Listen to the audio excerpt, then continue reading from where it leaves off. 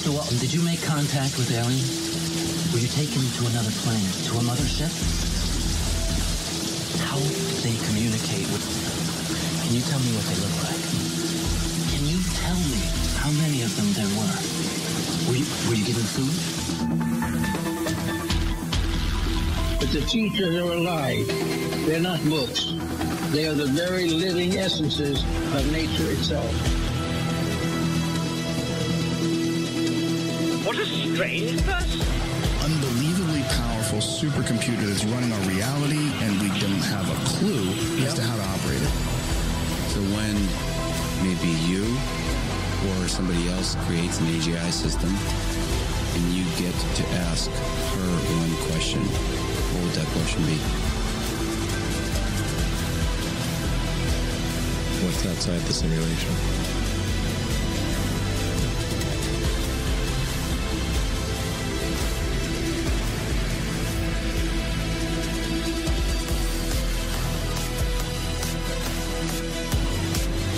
In your mind, say to yourself, I am more than my physical body because I am more than physical matter.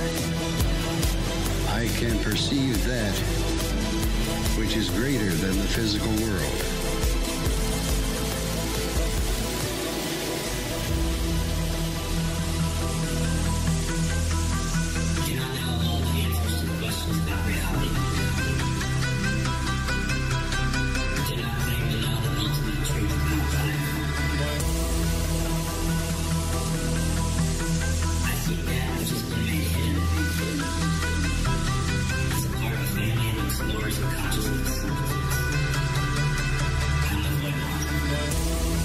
This is your last chance. After this, there is no turning back. You take the blue pill. The story ends. You wake up in your bed and believe whatever you want to. You take the red pill. You stay in Wonderland. And I show you how deep the rabbit hole goes.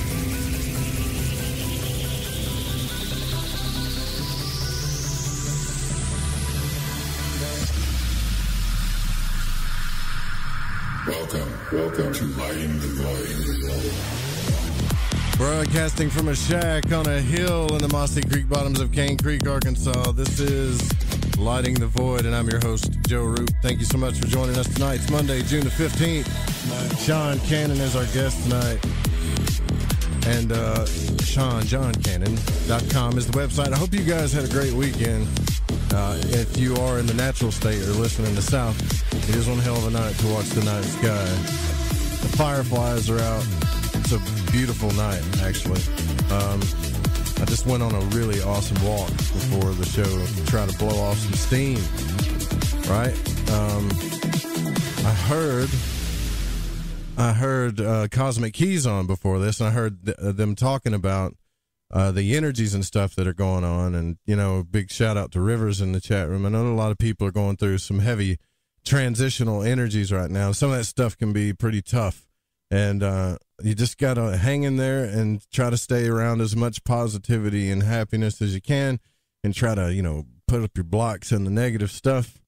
Yeah, I mean, that's kind of basic, right? That's like basic stuff, but that's what we're all doing right now. And thank you for listening tonight. If you're just joining us, we're live on the Fringe FM. Call in number for tonight's 1 800 588 0335. When we open the phone lines up, you can join the chat by going to the Fringe FM chat room at the fringe.fm forward slash chat room. Yeah, fringe.fm forward slash chat room. I want to give our sponsors a big shout out Metaphorical Archaeology, ancientlifeful.com, and getthetea.com, and also our partners at UFOseekers.com. We really love what they're doing. They're the best in the field, and uh, can't wait. I think they're getting their due. I hope so.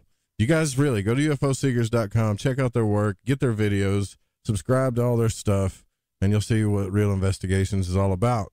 So tonight our guest is uh, Sean Cannon, and uh, Sean has been studying the multidimensional universe according to the ancient Vedic texts of India for the past 11 years, and his journey has given him a profound understanding of why the multiverse exists, that consciousness is actually not a physical manifestation, uh, the nature of the absolute truth, why souls reincarnate according to Vedic knowledge, and ultimately why the human form is the most highly desired form throughout the multiverse. He graduated with a BFA in fine art from the University of Arizona, and although art allows him to express his creative side, he is passionate about sharing the confidential aspects of Vedic philosophy. For literature, maps, art, photos, and basically everything you could ever want to fulfill your curiosity and get you started on your research of the ancient Vedic texts, please email Sean Cannon at SeanVedicVisuals at gmail.com. Also, the website again is SeanJohnCannon.com. Sean, thanks for coming on the program, man. It's good to have you. Hey, thanks for having me. Well, I got to tell you that statement that you said about the human uh, form. I I was just talking to an, a guest about this last week. You know, we were talking about aliens and stuff, and he was uh, he was I think it was last week. It might have been the week before last. I get him confused. Anyways, he was saying we were talking about grays and stuff, and I said, you know, like the gray alien body isn't really doesn't look all that attractive to me. You hear all these people talking about like I want to leave this place. I can't stand the world, and it, but you look out in the universe, it's a beautiful place. But as far as life is concerned, I don't think there's anything more beautiful than the human being. I just there there's nothing that shows that.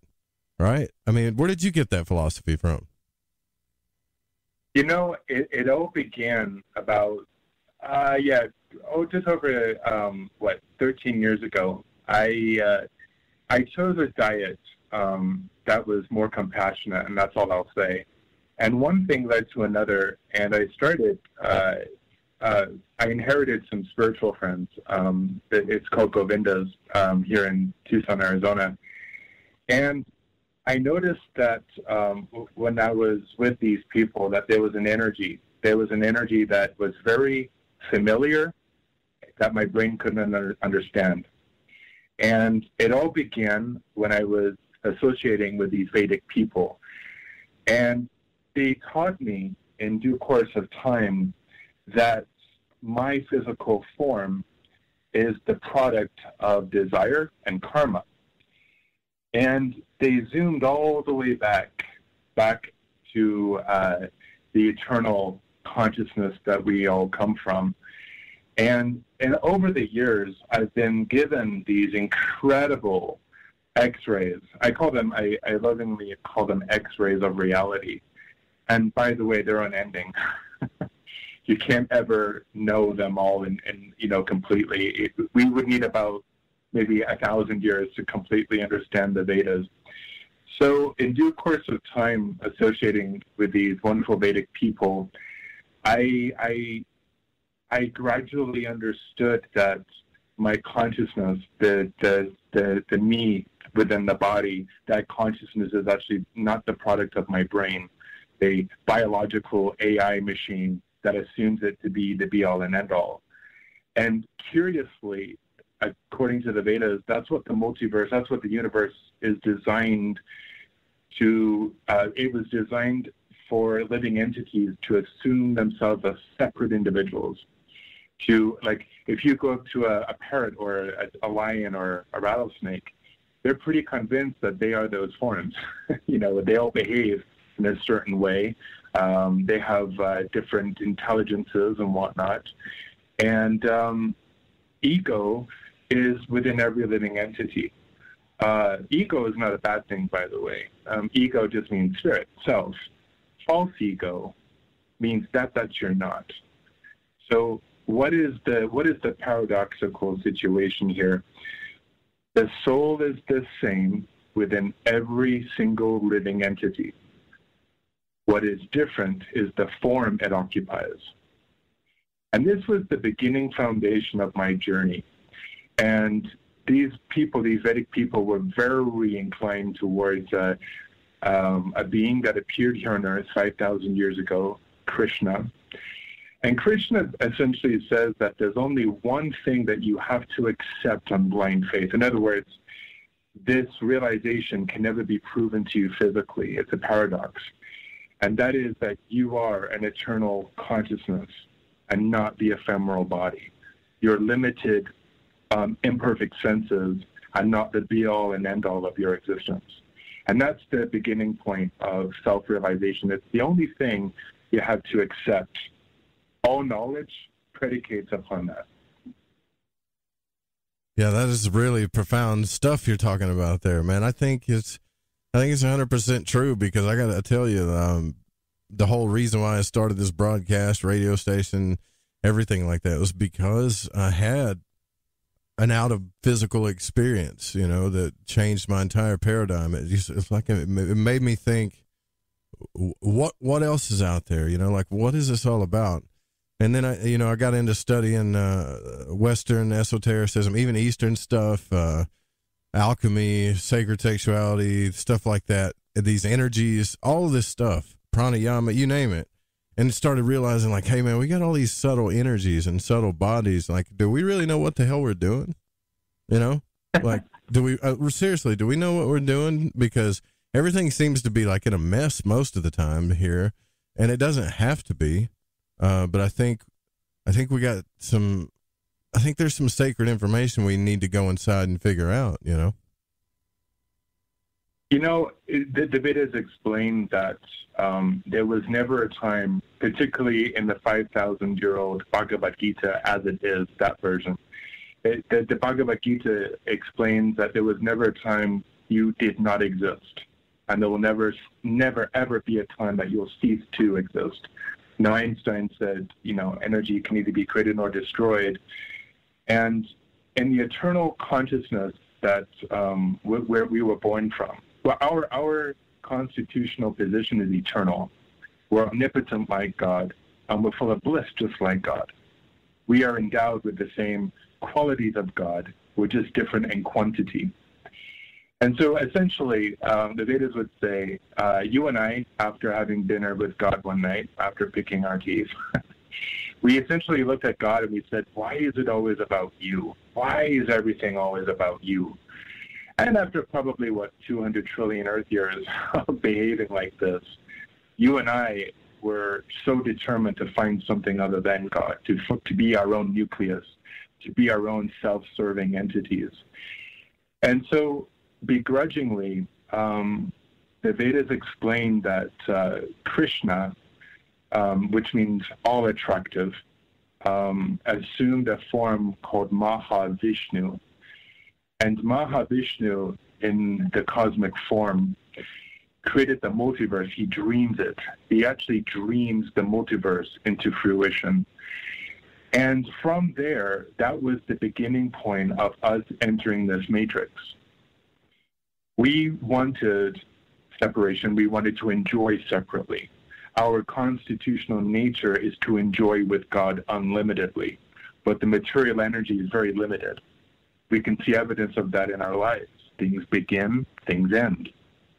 So this is why ultimately we were born into this multiverse to find something better than God. And ultimately, that's why we suffer.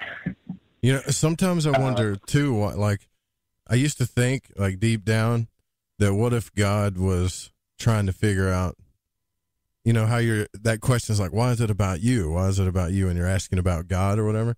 So it's like, what if God was trying to figure out who it was? I mean, because if you think about it, it's like, if you're Alpha, Omega, you're everything. You got nothing to compare to. Then how do you know who you are? The only thing you can do is break yourself down into incremental parts and just try to figure it out that way if there's really nothing else, you know? But that's actually a really interesting point you're making because the multiverse isn't natural. It's actually one fourth of God's total energy. What I mean, what I'm telling you is trillions and trillions of universes, not just galaxies. Infinite number of universes is one fourth of God's total energy, according to the Srimad Bhagavatam of India. Three fourths of God's energy is unending love. So I would answer that to say it's like saying, well, why did the Large Hadron Collider in CERN, Switzerland, um, build itself? Did it build itself to understand why it's trying to split atom uh, particles? No, mm. it, it, it already knows what its function is, and so we it's our it's because we are so convinced we are physical machines. We don't understand that actually spirit animates matter. So our dull senses will never see the spirit within us. Um, and by the way, if we could, that would be a complete intrusion on our on our on our so-called uh, desire to be a separate individual. So the eternal consciousness that you are born from is unending, no beginning, no end of expending love and ecstasy. So I, I, I, totally hold space for a lot of beautiful spiritual people to say, yes, you know, the, the, the universe built it uh, built itself to understand itself. And what I get so much bliss from sharing with people is that, you know, first of all, I always, um, you know, I, I always start off with this. I am not an intellectual. I'm humbled by what I don't know. No, One me, of my greatest assets. We got that in common. I'm not an intellectual either. Greatest, yeah, you know, one of my greatest assets is that I have a very childlike quality. I have a very um, I'm some call me very naive, and um, in a world such as ours, a lot of people protect themselves very guardedly, and I, I don't. I, I choose to live a life inspired and to live a life completely aware of of my spirit soul. So to answer that really good point you were saying about, you know, did God create this to understand itself? They are three powerful, distinct energies the Supreme has. And it's it's it's it's akin to understanding the layers of God. So once we understand these layers, we can better refine our questions. The first energy of God um, is called the impersonal Brahman. It's ubiquitous, it's cosmic, it's unending creational fractal of the multiverse that Mahavishnu is dreaming. And when we left God, we, God didn't leave us. God apparently came with us as the supersoul or the para atman, the consciousness within every single atom, and the other observer or the, the other uh, companion in the heart of every living being. And that's called the para atman. So the first layer, you have Brahman, the, the ubiquitous cosmic energy of God, the external energy. Then in the, the second part, you have the para atman or the super soul, the source of all esotericism. But the third energy is who you are, the eternal soul, the Atman, in relation to the eternal omnipotence, uh, ever joyful, ever um, sovereign being with God. So these three layers constitute our reality. And most people, I would say 99% of people only conceive of God as being energy, the Brahman. And this is why the Vedas, Veda means knowing, by the way. God is not a Hindu. The Vedas are not only just for Indian bodied people, Veda means absolute. Like mathematics are absolute. You can go to any one university and learn trigonometry, algebra, things like this. It's absolute mathematics is absolute. Well, wouldn't you know, God is also absolute. He's beyond our preconceived notions of bodily designation, religion, and politics. Yeah, it's but, you know what's cool though about that too. Real quick, I want to say is like, I remember when I went to college, I was, uh, you know, they make you take prerequisites or whatever, and I had uh, world religion, and I had uh, for some reason I'd been brought up to think that Judaism was the oldest religion, but it's not. It's the Hindu it's, it's the Vedas. That stuff is the oldest. That is the when it comes to our history, what we can really trace back. That has the oldest history to it. So I think that's pretty fascinating as well.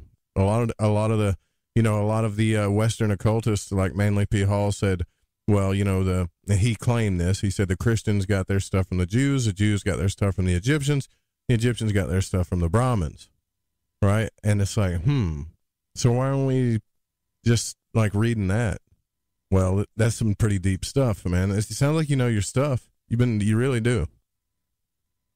Well, first of all, I, I really like you. um, you're you're very comfortable to talk to, and when I really, you know, invite someone, I can just free associate to the cows come home. And I know we we only have a you know two hours, so I won't go on forever. But this knowledge of the self the Vedas say it's the Homo sapien birthright, it's the human birthright to have this knowledge.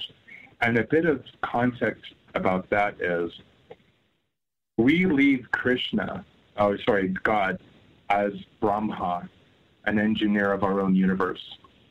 These Vedas are so inconceivably conceptual that it, it really, it really is supposed to humble you. The idea of knowledge is to completely polish the heart, to remind you where you are in the body, and to remind you what you're not. You're you're not that that brain within your in your skull that's trying to figure out this matrix. And demigods, the Vedas explain that there are billions and billions of demigods, different personalities that uphold certain functions of the multiverse. And wouldn't you know, um, a lot of religions on our earth are exopolitical. You know, you mentioned Manly P. Hall. I'm really good friends with Jordan Maxwell. Oh yeah, he's one of my dear. He's one of my dear friends, and uh, it's so funny you mentioned Manly P. Hall. My role uh, with Jordan right now is to synthesize where he's at in his life now is to understand how it relates to the Vedas, and I'm humbled by that that role, uh, and to help guide him into into more advanced people who know what they're talking about. Um, you know, erudite philosophers, Vaishnavas, people who have dedicated their entire lives to this. And so it's so funny how he was the beginning point of my awakening, by the way. It's so interesting. And many years later, nature or the universe had, uh, or the para atman, the super soul, uh, has guided me to be of small service for Jordan. And so, Manly P. Hall, um, you know, he he I, did some very interesting stuff going on with him. Yeah. That was uh, George. That was Jordan's um, one of his main teachers. They were very close, and I can't reveal some of the things that Jordan said. But can I just tell you, Manly P. Hall, quote unquote, may not have been from this world yeah, people, people want to. People, I've ha- I've talked to Jordan Maxwell a few times actually, probably three or four times on this show and on another radio show he used to do, and uh, his. I, I think I might have asked him that once about Manly. I was like, how did this guy, in his twenties, mind you, you can hear some of his lectures when he was in his twenties. I think it was like late twenties.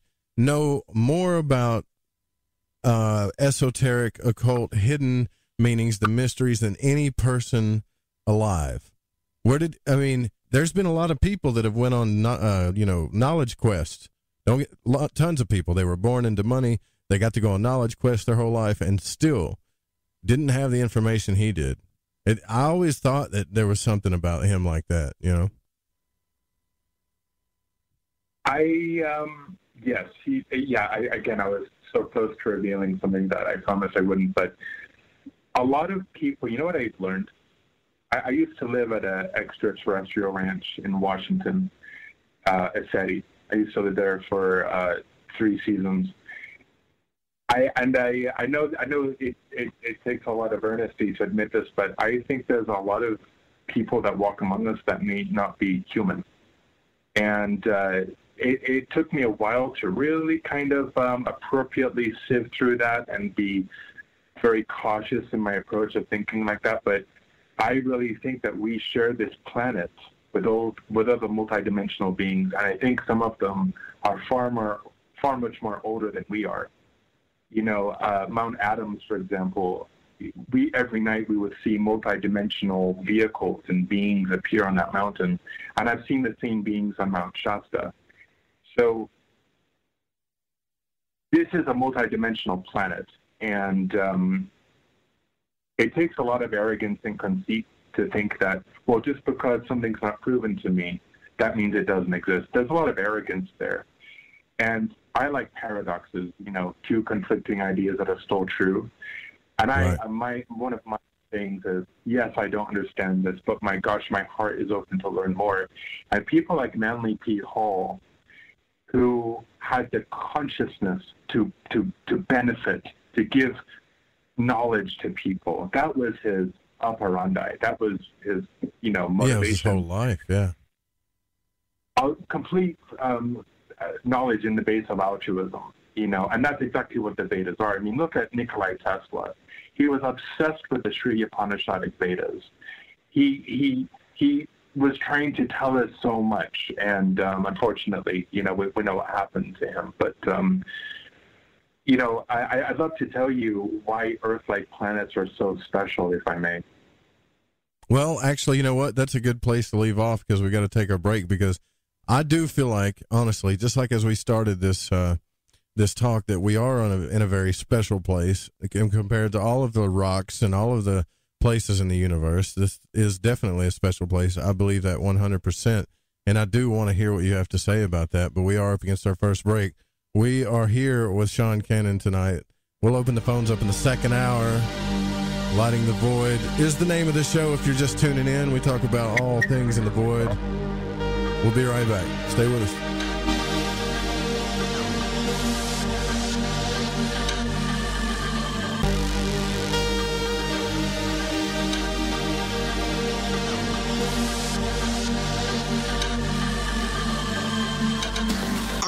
This is Crow Triple Seven, and you are listening to The Fringe FM. Hey, this is country music singer and void walker Jason Benoit, and when I need my fix on the world of magic and the capabilities of the human consciousness, I listen to Joe Rupe right here on Lighting the Void Radio.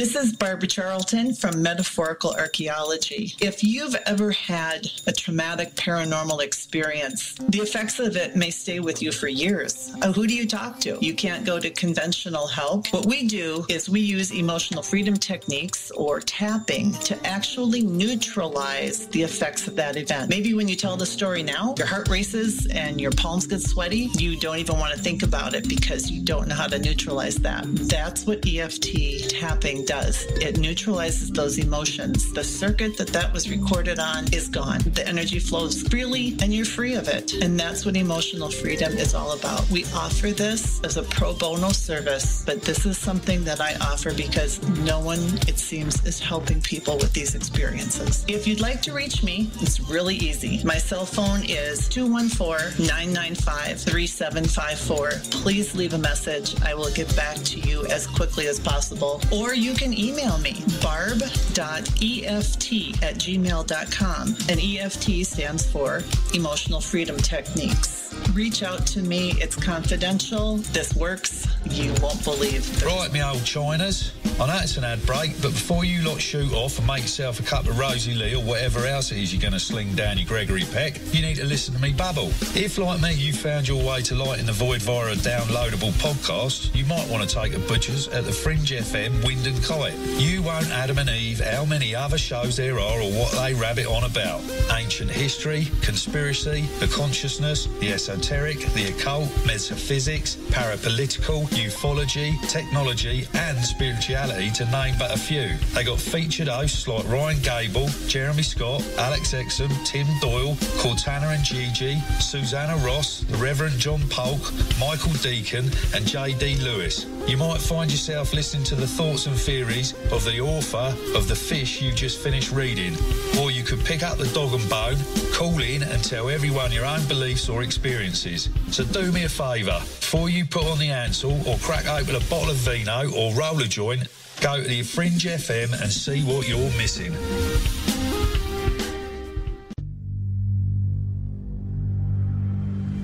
From a cave in the depths of your mind, it's Lighting the Void with Joe Rupe.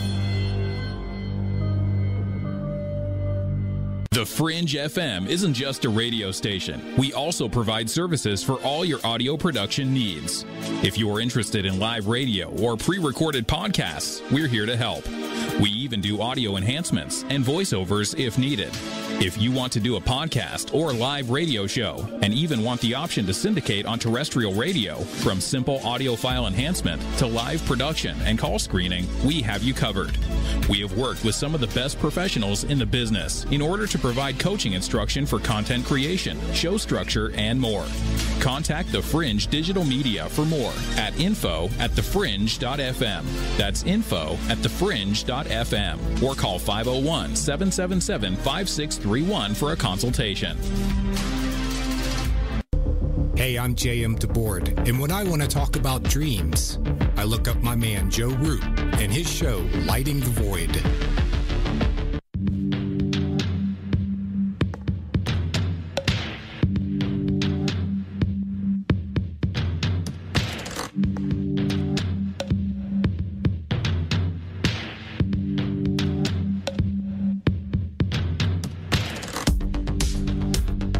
Okay, welcome back to Lighting the Void. Tonight, our guest, Sean Cannon, here is with us, and you can go to his website, SeanJohnCannon.com. It's got some really cool artwork on the front of it where he does pop art and other things as well. There's murals, photography, illustrations, and paintings.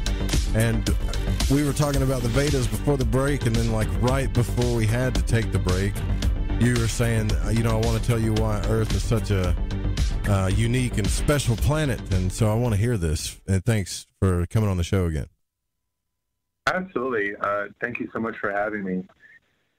So I speak, I try to uh, speak in the path of least resistance. I try to speak uh, in a very quick and to the point and concise way um, because a lot of this stuff is very conceptual.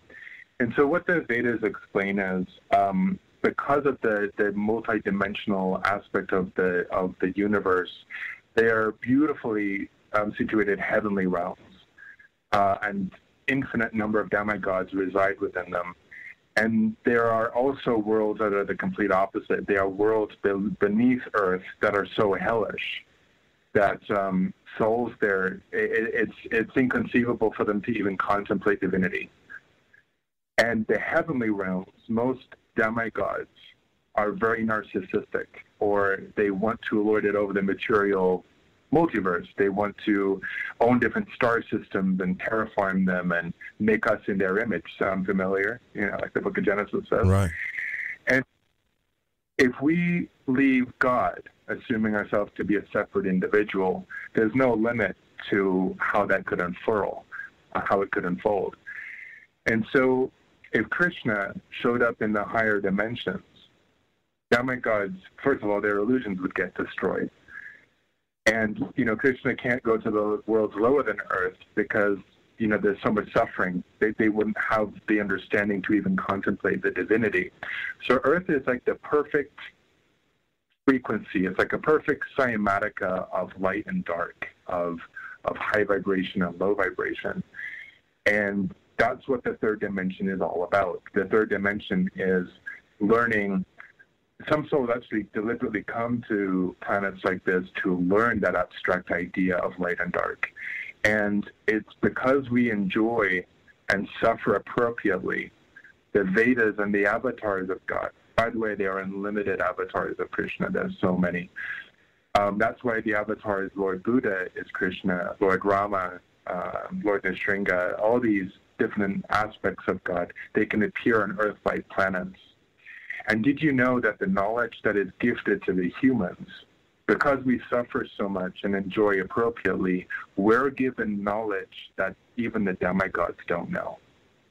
So God plays fairly. In other words, if you want to go be in the Pleiades or, you know, whatever higher celestial abode and be in the fifth, tenth dimension and enjoy there whatever, it doesn't necessarily mean, I think many of us take for granted that because these beings are on a higher level, they know everything. And that actually is not true. So God reveals himself absolutely with a capital A on Earth like planets. The Vedas explain there's like 60 billion Earth like planets just in the spiral arm of our galaxy alone, and Krishna has been on every one of them. and uh, he performs pastimes. So this is getting to the point of why Earth-like planets are so special. When God appears, there's like an energetic reverberation out that extends outward into the universe that captures the attention of demigods. And many of them, situated in their respective dimensional realms, they witness the absolute perform his inconceivable pastimes. And this is what the Srimad Bhagavatam Veda of India it's uh, 18, uh, sorry, it's, uh, well, the Mahabharata is 18,000 verses, but the Srimad Bhagavatam is 13, 14 cantos of multidimensional reality um, gifted to the humankind through reception of sound mantra and written um, oral history through the incarnation of the Vyasadeva. So Earth-like planets capture the attention of demigods or ETs, whatever you want to um, call them. And some of them do not understand this energy that is the absolute. His energy is so incomprehensible, but he still captures their attention. So many of them come here and they go, why on earth does this being choose these cockroaches? I mean, we're cockroaches to many uh, ETs. You know, we of the darker ones. You know, we're, we're just batteries. You know, we're, we're we're energy. We're just cattle. You know, look how human beings treat cattle and animals for consumption. Well, ETs do that to us, as above, so below. So there's a lot of uh, a mirroring effect, I would say. So this planet has seen every advent of the avatars of Lord Krishna, Lord Chaitanya, Lord Krishna, and Radharani, um, Lord Rama, which was 1.3 million years ago, and Lord Buddha. And when these avatars appear, like I was just saying, they cause an energetic reverberation outward into the multiverse that captures the demigod's attention. So, as as when Lord Buddha appeared, you know, the mission of Lord Buddha, it's Krishna. It's actually Buddha was an expansion of Shiva, and Shiva is an eternal expansion of Vishnu. And the, the role of the Buddha was to trick Mayavad philosophers, atheists, tricking them into being compassionate without any Vedic ritual because they were killing animals left and right. Ahimsa, you know, nonviolence. And uh, the, so when the Buddha appeared, devas appeared, devas, demigods. And the Buddha let them very much know, no, no, no, no, no. I'm I'm here for the humankind. You have to sit in the back. So even even demigods get humbled. And when Lord Krishna appeared 5,000 years ago, oh my God, the Srimad Bhagavatam explains how all these demigods were trying to mess with him. They were trying to figure him out. And uh, you know that coyote well, and the didn't he appear? Doesn't the doesn't the story say that he appeared in in blue skin, right? Like, so he kind of stuck out to begin with, right? Krishna. Yeah, and by the way, that's his eternal. Um, when God appears, He appears as one of us. So his body is not made of vessels and capillaries and skeleton and muscle. His body is made of what the soul is made from eternality, knowledge, and bliss. And that's why his energy is so magnanimous, and, and that's why it casts out into the multiverse. That's you know what's really crazy too. There was a kid that had an experience where he saw Jesus or whatever, and I remember uh, reading that story, and the kid said that he saw Jesus kind of like Christ sitting on a throne, and then uh, that the Father was on another throne, and their parents asked the kid, they said, "Well, what what did God look like?" And he said, "Well, God didn't really have a a human form. It was just this blue energy, like a blue cloud of energy." Isn't that crazy? The, Vedas explain that if you were to look at Krishna directly, it would it would be as if 22, I don't know why it says 22 billion, but it's as if 22 billion suns appeared before you. You know, the, the, the spiritual realm is self illuminating. Every single aspect of God there is self realized. There's well, more creation in the spiritual world than there is in the multiverse. And every single one of those entities is self realized. Now, are you speaking about this from study or your own personal experience? I mean, have you had some experiences with these realms? I've uh, I have been blessed to have experiences with Krishna that humbled my brain. In other words, my brain was trying to understand it, but the only place I could surrender to it was my heart. And uh, yeah, I've I've been blessed. I've been I've been blessed to have many um, experiences with Krishna. How did that happen? Did that happen in meditation or dream form, or how did that? How did you? So, yeah, the greatest asset that the Homo sapien, the humankind that we have, is our lips, tongue, roof of our mouth, and throat chakra. We are given the facility to recite a sound vibration mantra. Man means mind, tra means get out of your mind. So we're given the sound vibration of God.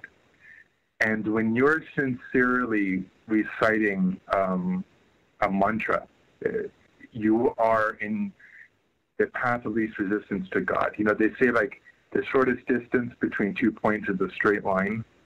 Well, this is why the, the human form is so powerful, is because we have the facility to chant sound vibrations that are God manifested in sound.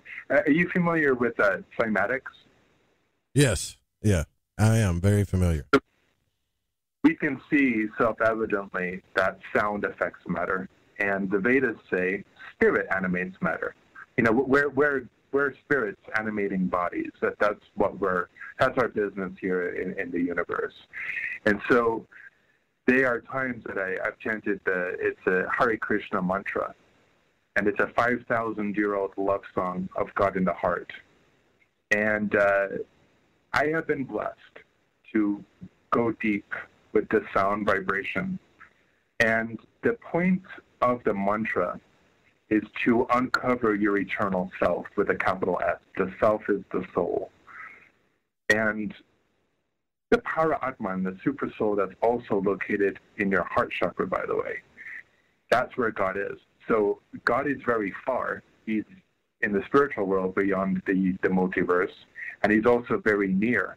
He's within your heart. This is what Yeshua, the Pleiadian Yeshua, I think he was a Pleiadian if you read the Bible. Uh, the book of um, Job, uh, 38, 31, can thou loose the bands of Orion? That's where the Egyptians came from. And can thou gain the influence of the Pleiades? And yeah. I think that's indicating where Yeshua came from. And I, Yeshua came here, I believe, to learn about the Father, Krishna, to learn about the kingdom of God within you, the super soul. Yeah, Job and also so, talks about, uh, he said, can you, uh, something about, can you release the powers of Mazzaroth too, which is the zodiac, which is all 12 signs of the zodiac as well. So.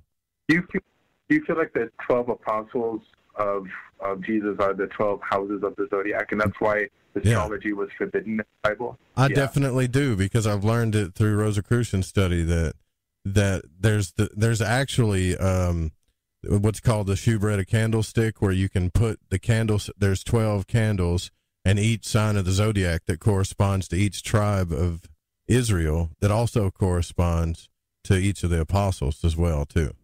And it's a definitely like it's yeah, I totally do. 100%.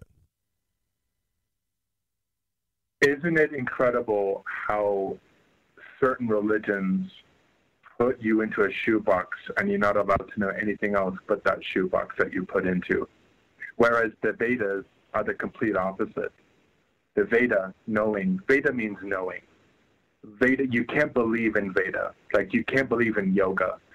The greatest gift that, that these avatars have gifted us is yoga. The science of knowing the difference between what is um, spiritual substance versus material nature. So again, we're given the body of human body with which we have the facility to have discernment. And notice it's a science. You know, science means essentially that means that that, that becomes self-evident.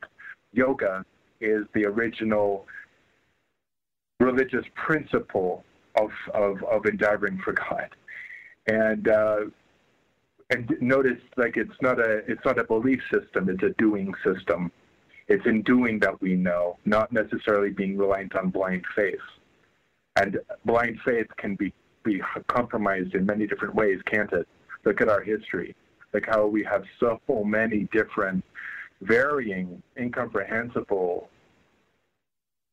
uh, governments you know government in latin govern control meant mind government you know, these things seem to want to keep us batteries, to keep us um, cattle, if you will, in a paradigm for control. And um, the, the Vedas and the avatars come forth to get, I mean, this is what the Bhagavad Gita is. Arjuna is a hybrid.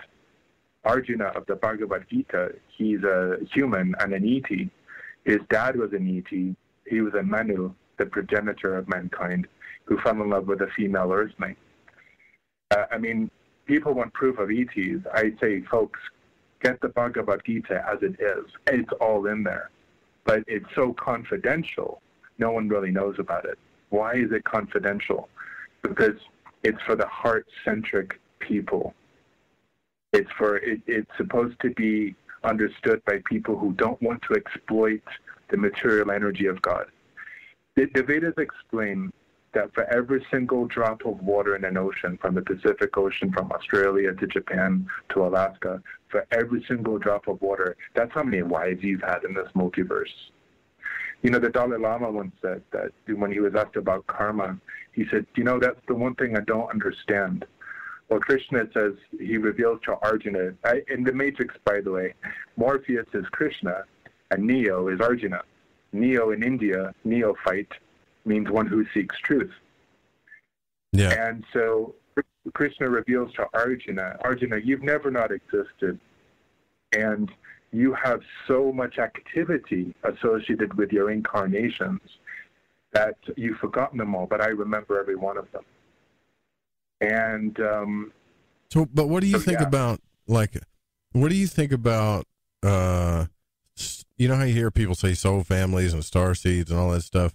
Man, I, I really used to be really skeptical about that until certain things started happening in my life where I start running into people. It's like, whoa, like where you can literally look into their eyes and you know, you know them.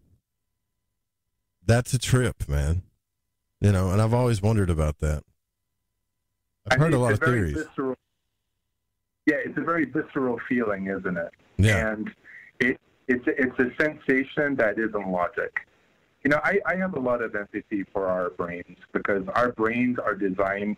Look, you have two hemispheres in your skull: a quantum computer, and the other hemisphere is the here and now. Talk about a duality. I, I, have a, I hold a lot of space for, for the brain because this brain really thinks it's the be all and end all.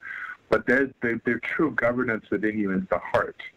And as you probably um, are noticing, our planet's going through a shift, uh, an incredible solar event in India. It's called the Sambartika fire. And in the Bible, it's called the return of the Son of God, S-U-N, the light of the world, the risen ball of light that rises every morning the second event of the solar Son of God.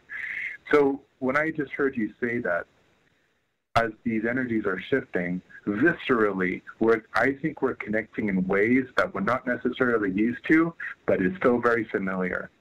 Right. We may have forgotten, it, but we're, we're, we're, we're reclaiming that that intelligence that's seated within us.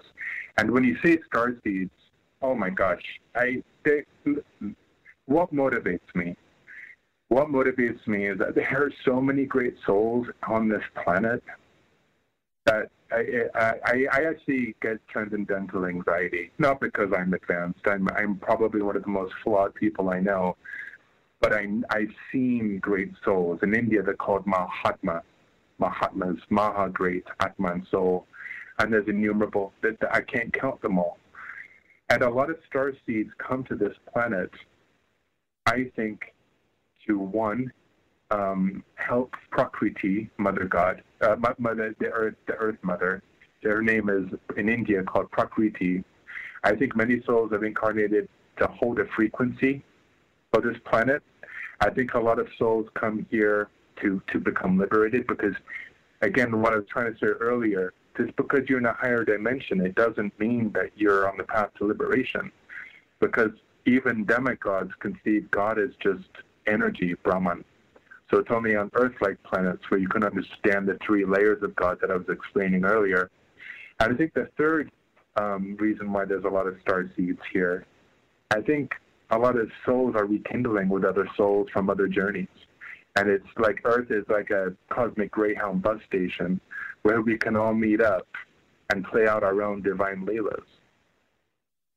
I think that's why we created the internet. You know, people are like, oh, the internet and this and that. I'm like, you know how many awesome people I met because of the internet that I would have never met just if it didn't exist? Now we can reach out and talk to anybody right now. Absolutely. Yeah. It's, it's, um, it, it's, you know, it's a very auspicious time to be human. I feel that we have a solar event that it's not going to happen. We're in the throes of it you know, it, it's almost like a download. It's like, yep, we're at 60%. You know, it, it, it started in 2012. It wasn't the end. It was the beginning of this, this incredible solar event. And, um, and so I realized, like I was just um, saying earlier, all I have now is just my heart space. and surrendering. Uh, in India, it's called Sharanagati, uh, to surrender your false notions and to surrender to the will of the divine. And it's very delicious. It's very beautiful um, to to go into that consciousness that you know it's not outside of you; it's within you. And I think the internet, like you're nicely explaining, it's connecting so many people in ways that you know we can't you know we, we can't comprehend and yet we can still do it you know i've had so many synchronistic events that happened in my life in the past year it's crazy. But i've also went through just these really tough transformations is crazy as well. So when i read these astrologers and now i hear you're talking about this too it's just beyond there's way too many signs that there is definitely something trying to either it's trying to advance us whether we want to or not. I mean if we're a lot of us are going right now i, I feel like kicking and screaming like you would if you were trying to put uh, a cat in a toilet you know like they just don't want to do it. And it's you know what i mean? And it's like until you surrender to that you're just it's this karmic suffering that you're feeling until you just like break that cycle and surrender to it. I'm dealing with it too and i just had to walk just for an hour straight to try to shake off some old junk, you know. But it works. Like I, uh, I start for some reason when I, I start to expand energy or create or create or do anything like that, it starts to release it, you know. And isn't it funny how many of us don't understand that we don't have to do this on our own? The, the most confidential aspect of the Bhagavad Gita, what Krishna reveals to Arjuna, is actually the most confidential knowledge. This is how Krishna is within every heart chakra as the as the super soul. And we don't have to do anything on our own. We choose to do things on our own because we choose to remain in, should we say, the, the fog. And what the Vedas of India are trying to reveal to us is that you are actually not alone. You are the super soul of the cosmic internet resides within your heart. I don't think Masons know about this. I don't think certain um, uh, royal lineages on our planet know about this. Um, that's how confidential it is. And uh, as you know, as you're going on your walks, the Vedas explain like you can contemplate the supreme personality of God through sound. Yeah. And collaborate. Make your life a collaboration. You know, when when Thoreau, um, when Emerson read the Bhagavad Gita, he dropped the book and he went into nature and he said, "Oh my God," literally, because he understood, "Where are you not?" You know, God is covered. The material multiverse covers God because we wanted separation. And it's through sound that you unlock the darshana. Darshana means to see God. We unlock the darshana within our heart through sound. So that's probably the most um, relevant thing I could ever say to you is that you can choose to continue life forward, trying to figure out and put it all together, or you can recite certain mantras where you're connecting with everyone and every living being in conjunction with the Supreme Person. Sounds amazing, huh? yeah, it does. It sounds cool, actually. It does sound amazing. I uh, wanted to, so I want to get into this uh, talk with you here because we're up against it at the top of the hour uh, about the ET thing because, um, man, I almost gave up on it until I met Tim Doyle from UFO Seekers because there's just so much, so many stories, so many people coming around trying to um, well, you know, you didn't you didn't know what to believe in it, and I've always thought that this ET thing had something to do that went back to the Brahmins and everything like that as well, and a lot of people think that too. And I wanted to talk to you about that uh, when we come back because I know that you've had some experiences of your own, right, uh, when it comes to this kind of stuff. Yeah, I've I've been very I've been very lucky. But right on. So that's what we're going to do. Uh, we're at the top of the hour. We'll be right back after this short message and news. Please support the show if you can. Join our membership and Patreon. Grab something from the shop. Join the Outsiders for free. We'll be right back. More Lighting the Void coming up.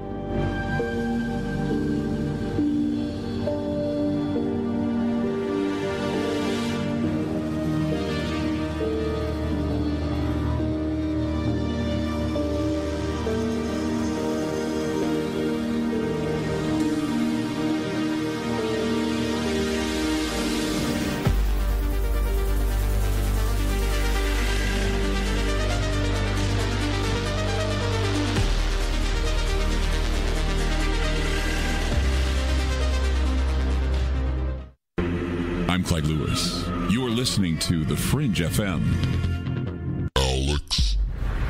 Hi, I'm Alex Exum, and you're listening to The Fringe FM. Are you intrigued by Paranormal Talk Radio? You'll love the new Paranormal Radio app from TalkStream Live. You'll find a great selection of talk shows covering UFOs, ghosts, strange phenomena, and much more. Download the Paranormal Radio app now and start listening to the very best in paranormal talk entertainment, including the network you're listening to right now, the Paranormal Radio app. Free in Google Play and the iOS App Store. Hey, this is No Way Jose, a Northern California Piscean stuck in the Arizona desert. I'm a void walker, and I got the shoes to prove it. So, what do I do when my soul yearns to delve deep into the realm of the unknown? I aim my satellite straight into the night sky and catch a smooth ride on the KTLKDB radio waves. I tune into Lighting the Void with Joe Rupe on the Fringe FM. Joe, Lighting the Void is the best show on the planet. This is Barney, your friend from Facebook. Thank you and all the crew for all you do. Namaste, my friend. This is Macon from the foothills of North Carolina, and I am a void walker. G'day, void walkers. This is Lily from down under Australia. The world may be small, the enigma is greater. So let your curiosity take you for a journey with Joe Rupe. Hey, this is V, coming in from Central Maryland, and I am a void walker.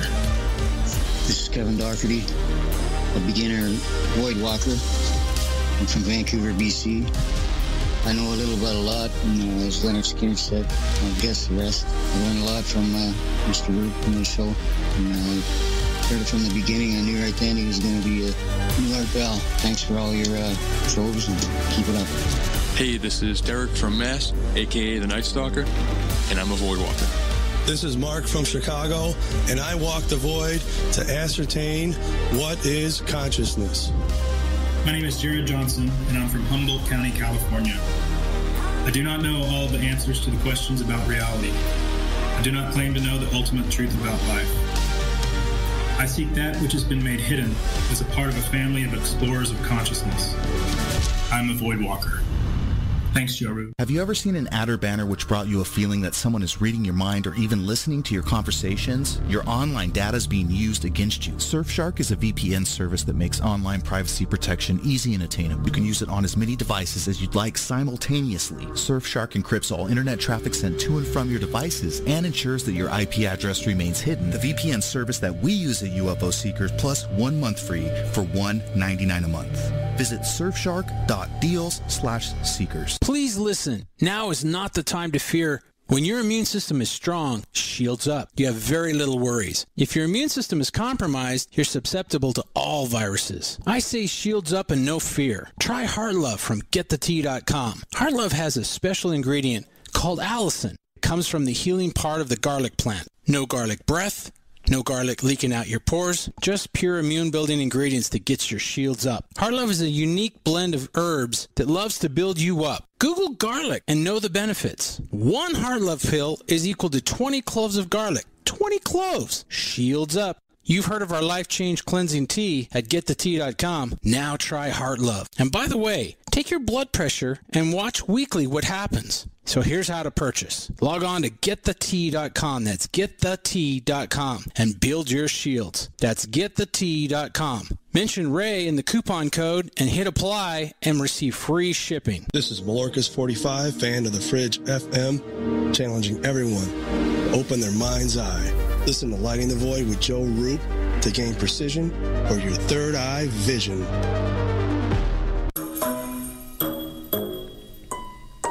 When you're in the house for longer periods of time, you can see them flying or running across the floor. Ooh, yuck. They're unhealthy, gross, and disgusting. Bugs. I loathe bugs. We keep a clean home, but occasionally bugs show up. Well, I found something that is tougher than bugs. Orange Guard. On contact, it kills hidden bugs, including ants, roaches, and fleas. Plus, Orange Guard is a residual repellent. All of the ingredients of Orange Guard are on the FDA generally recognized as safe list. Orange Guard may be used around food, humans, and pets. It comes with a 30 day money back guarantee. Orange Guard. Available at orangeguard.com, Whole Foods, and Ace Hardware. Hey, Fringe listeners, this is Dave Cruz, host of Beyond Strange Radio, asking you to join us live Sunday evenings at 7 p.m. Pacific Time, 10 p.m. Eastern, right here on The Fringe FM. Visit BeyondStrange.com for links to chat, social media, and schedules of the show. And remember, always stay strange. Asta. Somewhere between abnormal and paranormal, there's a show called Into the Paranormal. I'm Jeremy Scott. Hear me live Saturdays at 6 p.m. Pacific, 9 Eastern on the Fringe FM. Parabnormal News, I'm Brad Bernards.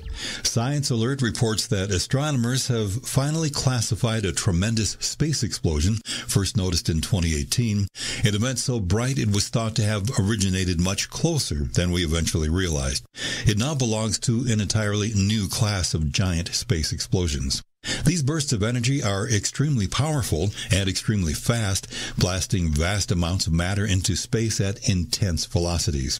Astronomers have named the new class Fast Blue Optical Transients, or FBOTs. The 2018 event, nicknamed the Cow, was eventually traced to a galaxy 200 million light years away, which was a surprise given its exceptional brightness. Since then, it's been outstripped by two even bigger explosions of the same kind, bringing the total of known F-bots to three. To put it into perspective just how intense these explosions are, the cow was at least 10 times more powerful than a regular supernova. Astronomers have discovered an activity cycle in another fast radio burst, potentially unearthing a significant clue about these mysterious deep space phenomena, according to a report in space.com. Fast radio bursts, or FRBs, are extragalactic flashes of light that pack a serious wallop. Potential explanations range from merging superdense neutron stars to advanced alien civilizations. In January of this year, astronomers reported that one member of the repeater class appears to exhibit a 16 day activity cycle. It fires off bursts for a four day stretch, then goes quiet for 12 days, and then starts all over again. Connect with the news at parabnormalradio.com. I'm Brad Bernards, Parabnormal News.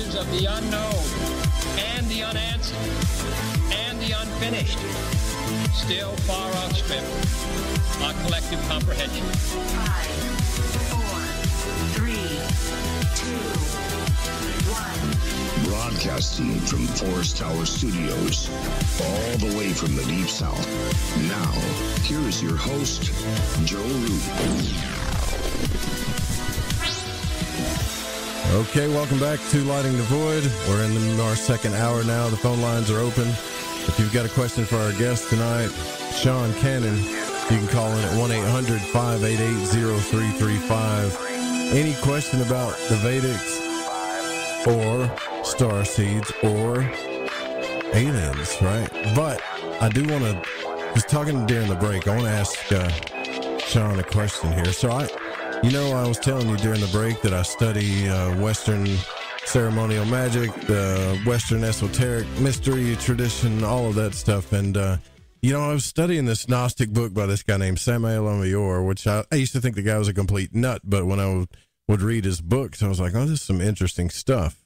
Uh, and so you said that Veda means knowing. It's not like a religion, it just means knowing, right? So Gnostic or Gnosticism is kind of like the same thing uh, to know. And, but, anyways, like reading, he has this book called Practical Astrology, and I read it, and it's about doing mantras. Uh, and I'm thinking, well, what do mantras have to do with astrology? So at certain times, you would face certain constellations or even planets, things like that, but constellations mainly and he would have you do a mantra. And as you would do this meditation and mantra, you would also move your head in a certain way. Uh, I guess there were some yogic qualities to that.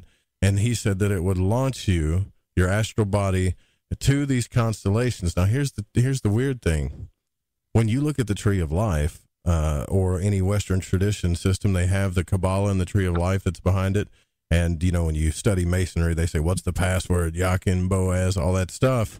Well, he's saying that they're being trained up because if they ever make it to these internal realms and they realize that they can launch themselves to these places with their astral bodies, that they're actually going to meet these temples, which are, you know, they used to call them internal temples, but they're really what's internal and external when it's just consciousness. And you would have to know these passwords you have any thoughts on that? Does that relate to any of your studies at all? Well, my gosh, I my reflection on that is you're you're giving a lot of credence to the to the powerful um, reality of mantra sound vibration.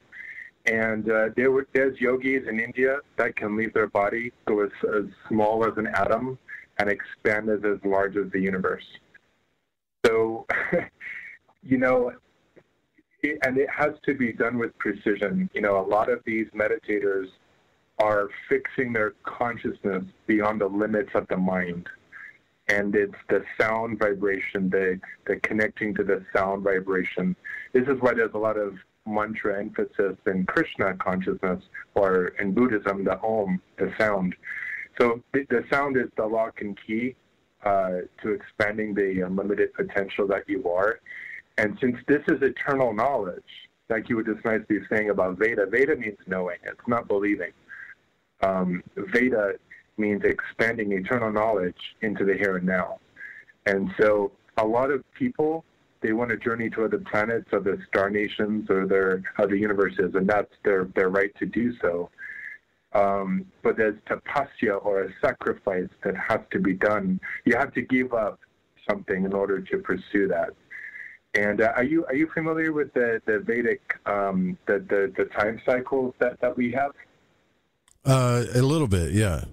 The uh, what are they Yugas? Isn't that what they're called? Yeah, we're um, we're in an age called the Kali Yuga, which began five thousand years ago. Uh, mm. When Krishna left, the, the Kali Yuga began, and it lasts for four hundred and thirty-two thousand years. And there's four, you know, the four Gospels of the Bible are actually the four time cycles of the Vedas. And in contrast to the Western concept of linear time, the sacred texts of India view reality from the perspective of cycles or yugas. And um, our current cycle of history is seen as one of many stages that recur eternally. These ages turn into new ages and then back again. And nature always hints of this throughout life. You know, the seasons repeat themselves, the days of the week reoccur, uh, day turns into night and then day and, and so forth. So everything is secular. It's not linear. And um, what I'm going on about is um, we have to understand the mechanics of what we're dealing with in terms of Veda to understand ultimately where we want to go. And, um, you know, the, the, uh, the, did you know that the, the Brahma Samhita Veda, which is the, the sound mantra of Brahma creating our universe, it's 311 trillion years old. Really? That's the Vedic calculation. It's, it's in the trillions, not billions, folks. It's in the trillions. We have limited, imperfect senses, and I hate to say it, we have limited, imperfect current instruments. Veda is beyond linear thinking. It, you know, linear is very third-dimensional thinking. So the multidimensionality of Veda and application of parampara knowledge. Parampara means disciplic, unchanged knowledge, and uh, and that's why it's so powerful because it's unchanged. Like I've seen seven thousand versions of the Bhagavad Gita, but there's only one I'll read, and that's the Parampara version because it's as it is. You know, that's why it's called that. So yes, you can go to any star system you want. You can go to that. You don't need DMT to go there, folks, either. You you can go there and sound. But we have inherited this form. We have inherited this star system, and I think many of us want to go home, and that's our birthright. And um, so, yeah, you know, this is not esoteric, by the way. As you know, there's exoteric and esoteric. Now, exoteric means 500 people believe a story, and esoteric means five people know the real truth. You know, and so this is beyond all of that duality. And um, do you know about the um, Dhruva Loka or the North the North Pole Star? Just the mythologies around it. But yeah, go ahead. Oh, there is um, in the Vedas of ancient India, they describe how every single, you know, for all the grains of sand on Earth. I want folks to really think about this. For, this is what the Vedas say. Of all the grains of sand on Earth, that's how many stars are in our galaxy. Did you know that if you shrunk our sun and its system down to the size of a white blood cell, our galaxy would fit into the continental size of the USA. It's, a, it's, it's the Vedas explain that the Brahman energy of God, the external energy of God, the multiverse, is incomprehensible. It will never be understood um, they will never be understood. That's why we're dealing with paradoxes in, in the third dimension. But the, the Vedas say that the, um, the ancient texts of India describe how every single star is conscious, and there's a residing solar deity within every single star. And there are infinite multidimensional beings residing in them. And according to the Srimad Bhagavatam of Lord Krishna, of all the star nations in our local area of our galaxy, Dhruva is the most revered. And if guys, if if uh, if people Google this, Google Dhruva Nakshatra, a movable star, and you notice that the North Star never moves, but stars circumambulate it. Well, it just so happens that a devotee of Lord Vishnu resides there. His name is Dhruva, and he was one of the most incredible devotees of Lord Vishnu. So much so, the solar deities um, they want to have his blessings. They want to they want to emulate him in his devotion to, to Krishna or Vishnu, and so you know, like the swastika. Did you know that the swastika is actually the Big Dipper moving around the North Star in the four seasons of summer, spring, winter, and fall? And that's what the swastika is. Right. It's yeah. the Big Dipper. And did, did you know that in each one of those stars of the Big Dipper, it's called the Seven Sages? People can Google this. 10.6, Opulence of the Absolute, Bhagavad Gita as it is. Krishna reveals in there the Manu, the progenitors of mankind. And folks, I think this could be the same thing as what Genesis is saying come, let us make man in our image, after our likeness. Krishna reveals to Arjuna the progenitors of mankind, the Manu, and he explains how every single star the, the, of the seven stars in the Big Dipper, there's a deity that that that is the residence of that one star within that system. I mean, this is so incomprehensible. Like a lot of people just think of the seven star nations of, you know, Pleiadian, Arcturus, Andromeda, Sirius, Orion. There's so many other star nations out there. And um, the Vedas um, go so far out to explain in our local area why Dhruva Loka, the North Pole star, is so significant. And uh, that, like you were nicely saying about the internet, isn't it amazing how people can just go on Google and find all of this stuff? yeah, it is. Like we've built this thing this uh, collective brain machine where we can talk to each other instantly and get any kind of information that we want instantly.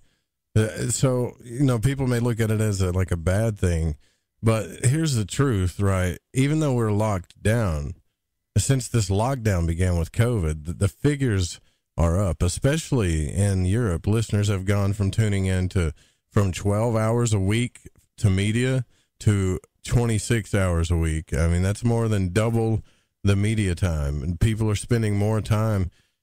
People are spending more time on the web. However, uh, there's also an internal like thing going on with people right now. I, I, I can't tell how many people I've talked to right now, Sean, that are talking about uh, they feel like they're stuck. They feel like they're in between worlds. Some people are saying they're losing their mind. Some people are kind of going with it and accepting it. Um, I've definitely felt the energies, having weird dreams. Like we're transitioning for sure. And even the Mayan calendar, if you look at the Gregorian calculations to it, 2012 wasn't really until now, like 2020, according to some figures.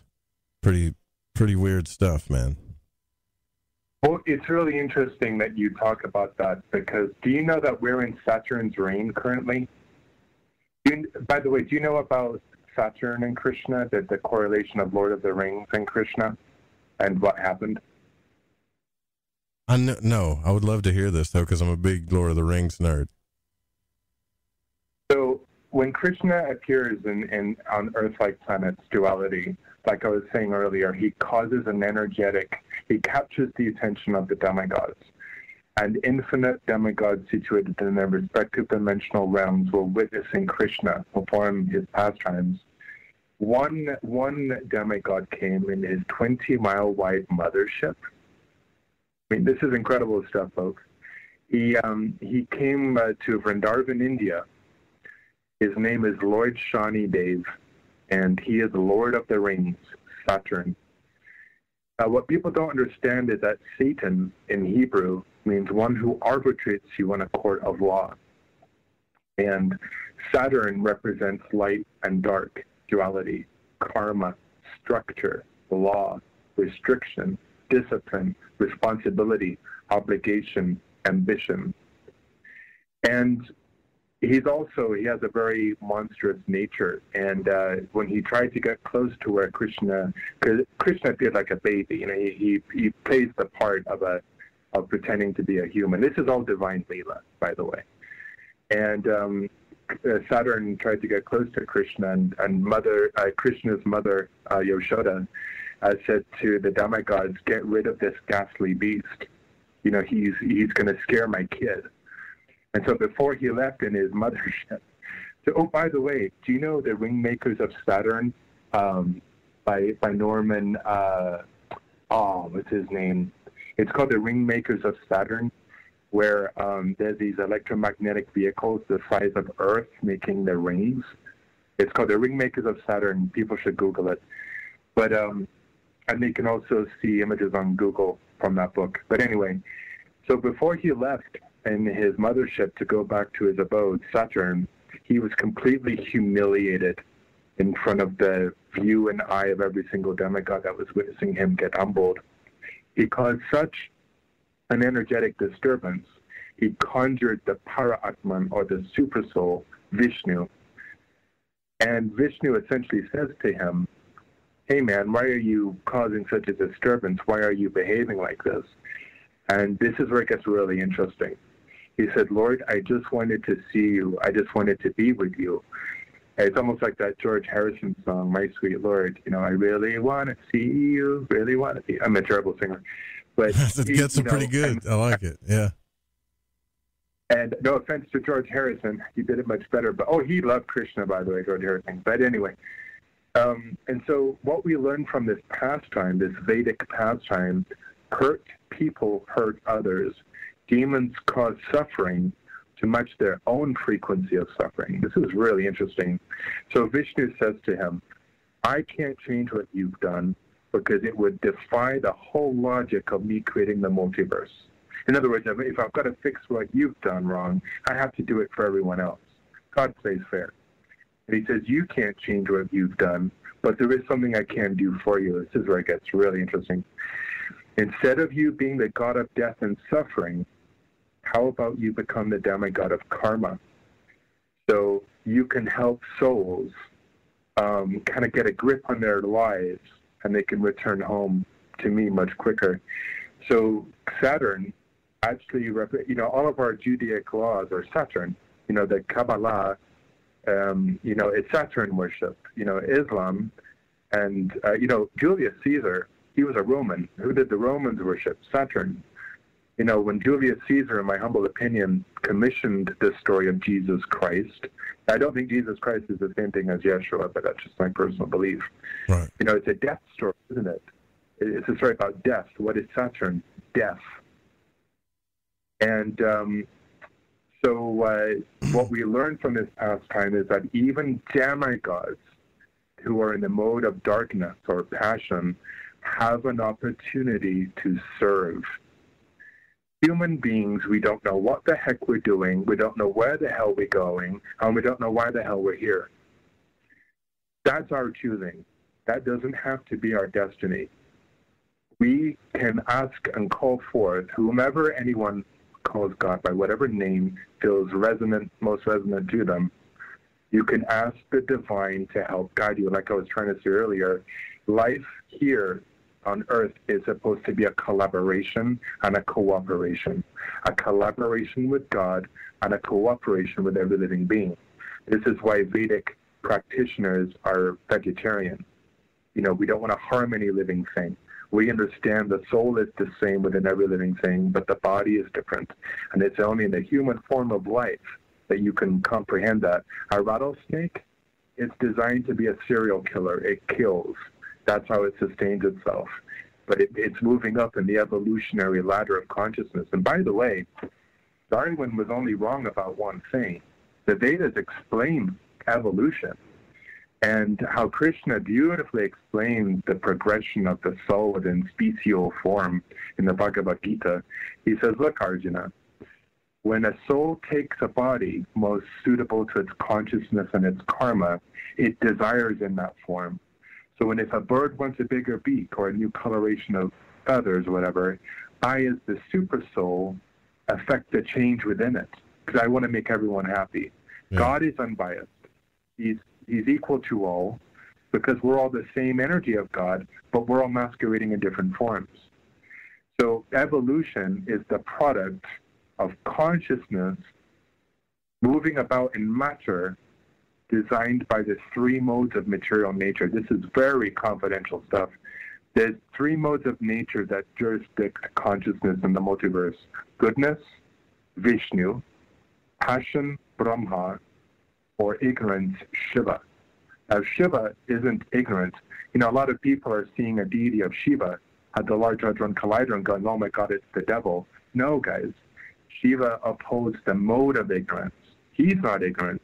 Did you know that Shani Devi, actually, Saturn, is his guru is Shiva? I mean, I don't think even the occultists know about this stuff because this is how deeply personal the Vedas are. And if you, if you, if you're so fortunate to come in contact with the Vedas, your life is blessed. It begins because it's it's absolutely. Um, I don't know if this is redundant, but it's absolutely absolute. Yeah, well, I, you know, I'm, I'm kind of drawn to what you were saying earlier about how, uh, you know, as we go through these transitions and stuff, I think some some I can't tell you what it is, but some twisted, messed up thing, and has psychologically trained us to be like nuclear family style people that believe and transition into these super like you have to be independent. You can't need help or need anyone or anything like that. I mean, that makes you weak. And it's like, where where the hell did this come from? Where where did all this stuff come from where you can't need help from people? Or help is a bad thing, or you need to be super independent and all this. I mean, I don't know Well, I- where it came from. I think my answer to that is many of us maybe have incarnated on this planet many times over. If we, have for every drop of water, that's how many lives we've had in an ocean. We've we've got a lot of debris in this material world. So I say a lot of us may have got religious trauma encoded in our DNA, or in previous lifetimes, we have religious trauma. And when you look at the Bible, what is it? It's light and dark, old and new testaments. You know, in the Old Testament, he's a wrathful, hateful God, and if you don't do what he, you know, and in the New Testament, it's like, oh my God. You know, so we're dealing with nonstop duality. And once you understand the primer, the nucleus, the foundation of duality, I mean, it, it's very important that Krishna says in the Bhagavad Gita, one must understand the difference between me and the infinite demigods that sustain the multiverse. In other words, know the absolute nature of God and the, the exopolitical influences of demigods. I mean, wow. I mean, look at the Egyptians. They're from two star systems, Orion and Sirius. And, uh, you know, they wanted to be worshipped like God. You know, they were very vain, very, I'm not saying all of them were bad, but yeah, they enslaved people. You know, they used us as a commodity, as above, so below. Look what we do to animals. We, we, we do the same to them. So, what is the answer? I think the answer is residing to the fact it takes a humble position to arrive at this, this location in your mind. Again, Sharanagati, surrender. To surrender all your false notions about what we think is true and be humble to what we don't know. Right. And um, and souls like yourself who have probably incarnated here to, to get this knowledge, you're on the path. Right on. I think a lot of us are too, especially if you're listening to this show. Last break of the night, you're listening to Lighting the Void. I'm your host, Joe Rupe, here with our special guest tonight, who's been filling us full of knowledge, Sean Cannon. Stay with us. We'll be right back.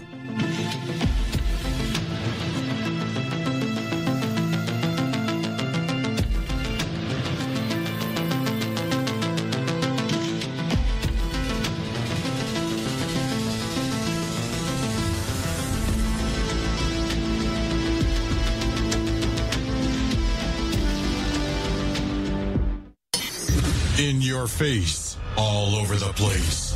We're online 24 7. 24 7. You're listening to the hottest internet station. Listen, I want to tell you about GI Joy from GetTheTea.com.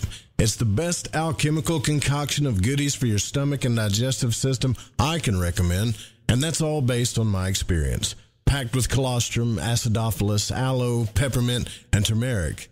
If you do your own research, then you know this is the bee's knees for the stomach and digestion. Now, due to Big Brother's ears and the eye in the sky, you know I can't go into the details about what it helped me with. All I can say is I got relief. It's non GMO, no fillers, no preservatives, manufactured right here in the US of A, and delivered to you by the only people who stay on top of the game and are out in front. Go grab a bottle of GI Joy at getthetea.com and see what all the fuss is about. Again, that's getthetea.com. Hi, this is Aaron Hunter, host of Real Paranormal Activity, the podcast where we tell real paranormal experiences of people from around the world. And we also conduct interviews with authors, investigators, psychics, and mediums. Real people, real stories, real fear. Thursdays at 6 p.m. Pacific, 9 p.m. Eastern on The Fringe FM. See you then. My name is Jake. I'm from Billings, Montana, and I am a Void Walker. Hey, Joe Rupe. Thanks for lighting the void. This is Janine in the bluegrass of Kentucky, and I am a Void Walker. What's up, guys? This is Damien from San Marcos, Texas, and I'm a Void Walker. I listen to the show to keep myself aligned with the world. Hi, this is Laura, aka Laura Lavender. I'm from Las Vegas, and I listen to Lighting the Void because it helps me understand some of the strangest experiences I've had. So thanks for all that you do and for always being there for us, Joe.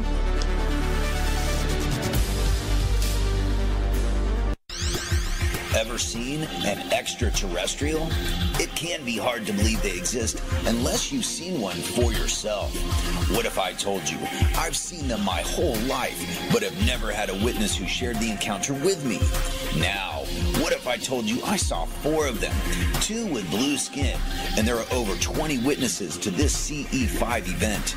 My new book, The Blue Beings Visitation at the UFO Conference, documents actual accounts from real witnesses, many of which have gone on record to attest to this otherworldly reality. Be a part of the quantum paradigm shift that is taking place right now. Go to johnpolkmedia.com to get your copy of the Blue Beings Visitation at the UFO Conference on sale right now at johnpolkmedia.com. That's J O H N P O L K media.com. So, you love talk radio? Then you'll love TalkStreamLive.com. TalkStream Live is always on 24 7 with the best streaming talk shows. Find your favorite talkers and discover some new ones. It's free, readily available online or on mobile with any smartphone or tablet. Finding your favorite talk shows all in one place has gotten a whole lot easier. Just go to TalkStreamLive.com. Be sure to download the free apps from Google Play or the iTunes App Store. Hey, this is country music singer and void walker Jason Benoit, and when I need my fix on the world of magic and the capabilities of the human consciousness, I listen to Joe Rupe right here on Lighting the Void Radio.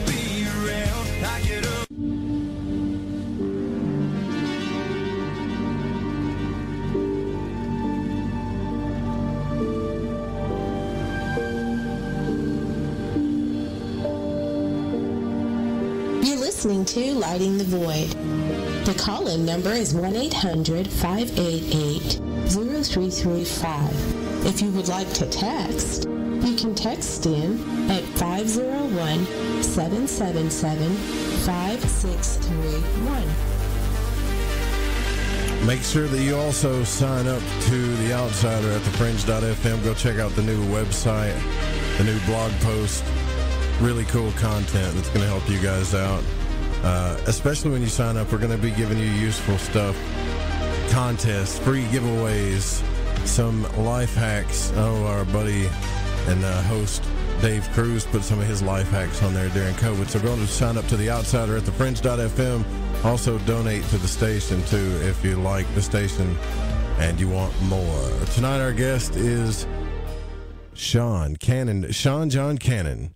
And look, when you go to the front page of the website, I got to tell you just real quick, I don't want to, you know, waste too much time here. We got like, this is our last segment, but your artwork is amazing, man. I'm just saying. It's fantastic. Thank you so much. You know, when I went to Flagstaff, when I went to NAU, I um, I wanted to be an astronomer because of Carl Sagan, and uh, you know, uh, I got an A in college algebra, and I thought I deserved the Nobel Peace Prize, and um, I got into astronomy, and I got a two W's, and my teacher said, you know, Sean, I really like you, but I don't think this is your field, and so my GPA was sustained. I think I had like a 372, and so I majored in English, got graduated with English, and got bored with English, and I started doodling on a napkin at Macy's Cafe in Flagstaff. And I thought, oh my God, I want to be an artist, and so I came down to the University of Arizona and figured it out. so that means a lot. Um, you saying that because hopefully it uh, resonates with people. Yeah, it's fantastic. And earlier in the show, you brought up Jordan Maxwell, who I've I've interviewed a few times, and I got to tell you, he talks about with me. We talked about a lot of the Western esoteric stuff, but we also talked about his alien stories and things. But he would always end with, uh, what would he say? He would say, um, "You something about you think you know, but you just you don't know." There's so much. That's what he wanted people to understand is all this stuff we think we know, we don't know and there are certain things that you could tell like he really wanted to talk about. Now, you know, I've seen him on Gaia. I see him talking to certain people. Like you've talked to him too. I think he's kind of opening up about all this stuff. I mean, what's going on with Jordan, man? Is he like getting into what you're talking about now, as far as the Vedic uh, teachings go? The relevance of my connecting with Jordan, there is no such thing as coincidences. I used to think coincidences was a real phenomena, but it isn't. And this, the relevance of this is, as I was trying to explain with Saturn, um, when Krishna left uh, 5,000 years ago in his Bhagavan form, the Kali Yuga, the 432,000 age of the Kali Yuga. It's the winter season of consciousness. It's the it's the, the time cycle of low consciousness. Um, materialism is God, and the impersonalistic aspect of God is most prominent.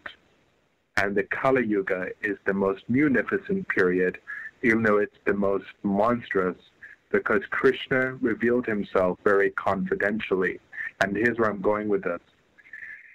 So when this Time Yuga was inaugurated 5,000 years ago, what, are, what have the ancients been telling us about our current time period?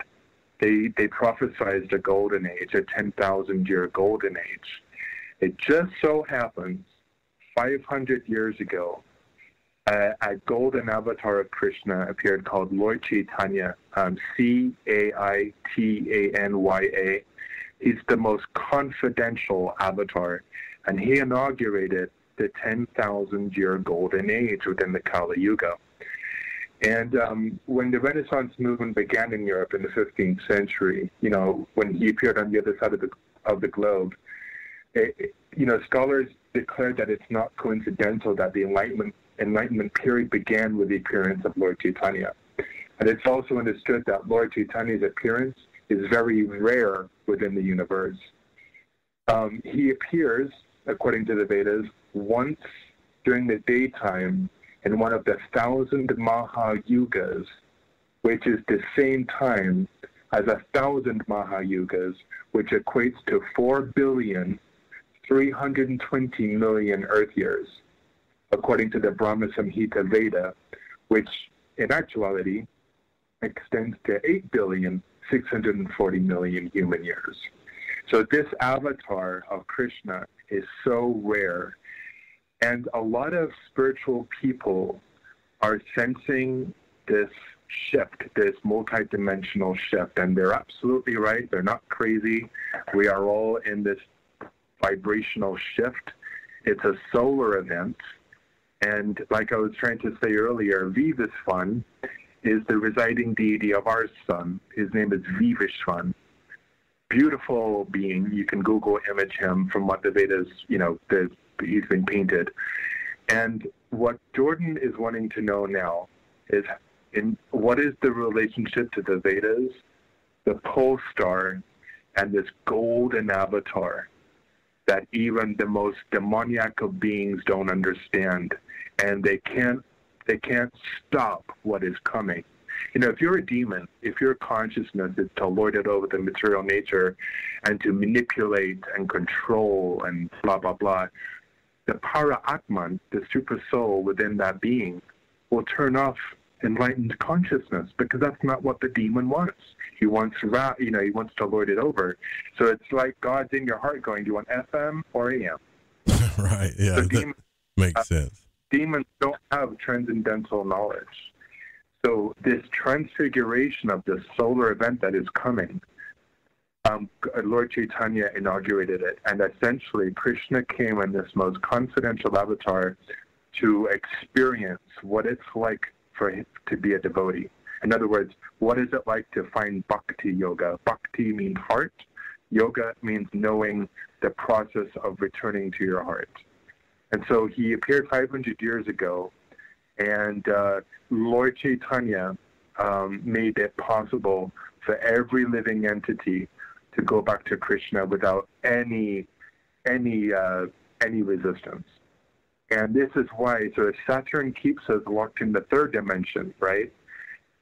Lord Chaitanya appeared to make it easier to to kind of like ease the tension you know, because Saturn has a very intense nature. I mean, look how big his abode is. That planet's massive. Yeah. And he has a major influence on our planet. And so we are now in the golden age. We are 500 years, and we have 9,500 years of our sun that's, that's entered this highly charged, I think it's 3,000 degrees Celsius, this huge um, nebulous cloud that. And did you know that a lot of stars around us are going through their transfigurations right now? They're they're going through their shifts. I saw some weird stuff in the sky tonight, actually. Uh, some twinkling stars that I've never seen before that were just turning all kinds of colors. But I'm not an astronomer, but I know I, I haven't seen them before. uh, like that? We it, it's it is an incredible time to be us, and you know, and and by the way, this mantra, this Maha mantra, Maha means great, and mantra means get out of your mind. Lord Chaitanya uh, moved all over India chanting this Hare Krishna mantra, and that's why we see in every corner of the globe these really precious souls um, chanting Hare Krishna in the street. They're they're gifting this sound vibration out to people, and it, it affects not only humans, it affects animals, it, it affects anything that has a soul, because the the vibration of it is non-biased, it's not prejudiced, it affects the soul, and that's the origin of the Hare Krishna movement. Is from Lord Chaitanya, this most confidential avatar.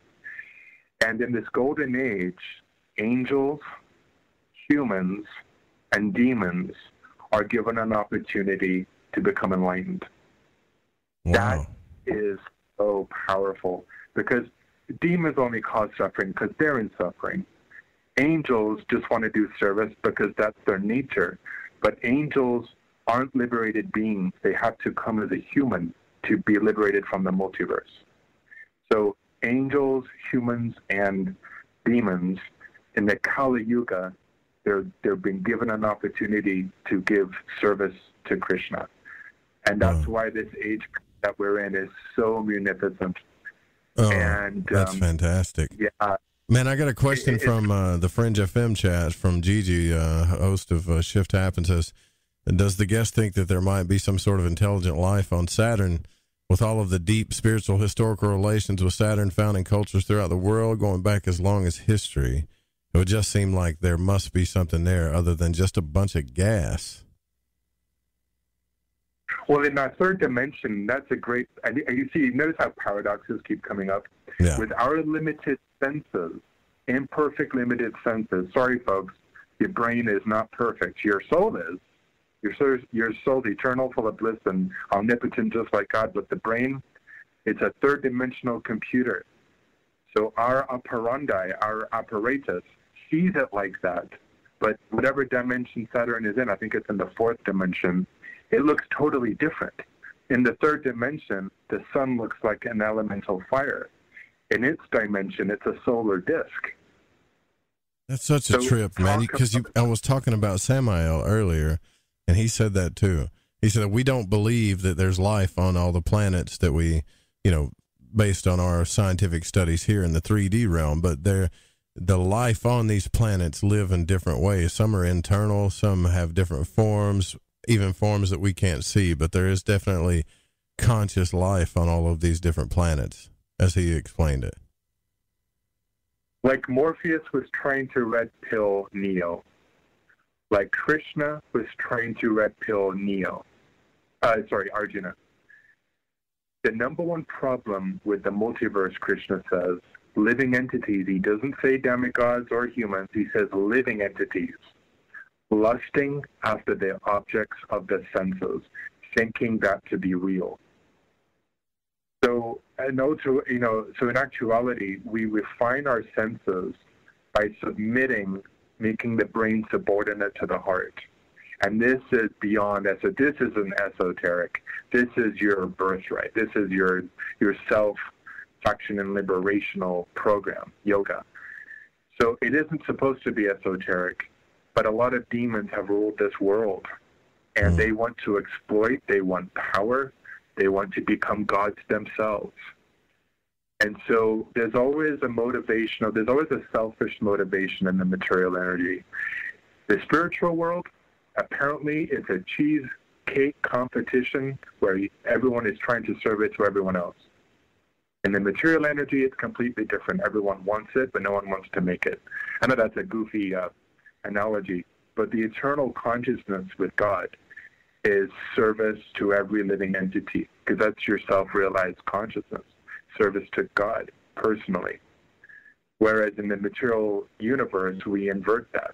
We are trying to exploit living entities here, and we are trying to survive death, not knowing that we will never die, and that we are never really born.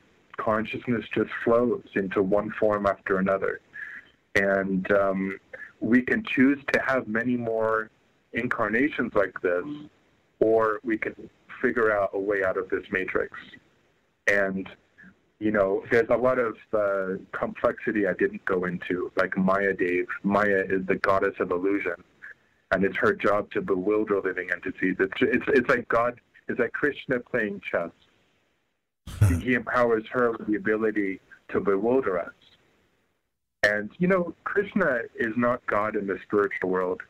There's no need. There's no need for a Krishna to be God in the spiritual world. There is no governance in the spiritual world because it's unending love. It's selflessness. That's one of the attributions of eternality. The material universe, he has to dream it into fruition. He has to be the the governor, and he upholds the mode of goodness. That's why, if any human behaves in the mode of goodness, the para atman within the heart responds.